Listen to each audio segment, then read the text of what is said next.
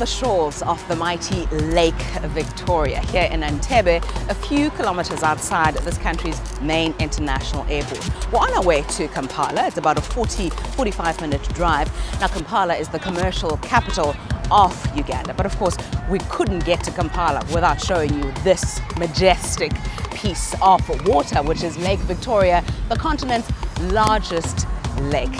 So we'll be coming to you over the next few days where we'll be unpacking the business environment and the economic landscape of what they call the Pearl of Africa.